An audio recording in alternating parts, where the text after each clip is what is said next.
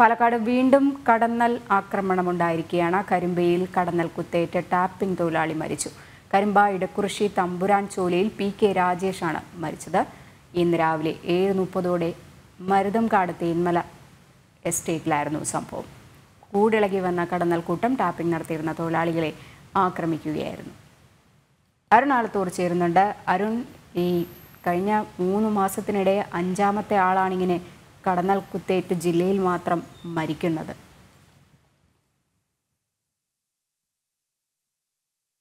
കടന്നൽ കുത്തേറ്റുള്ള മരണങ്ങൾ തുടർക്കഥയാവുന്നു എന്നുള്ളതാണ്.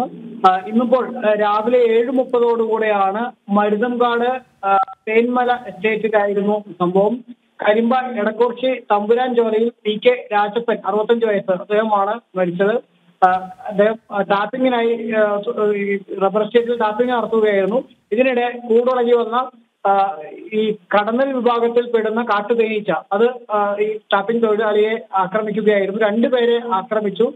രാജ്യത്തിനൊപ്പം ഉണ്ടായിരുന്ന കരിമ്പ പുതുക്കാട് സ്വദേശിയായ മുണ്ടപ്പാമൂട്ടിൽ എം ജി ജോഷിയും രാജപ്പനെയും ഈ രണ്ടുപേരെയും ഈ കടന്നൽ കൂട്ടം ആക്രമിക്കുകയായിരുന്നു.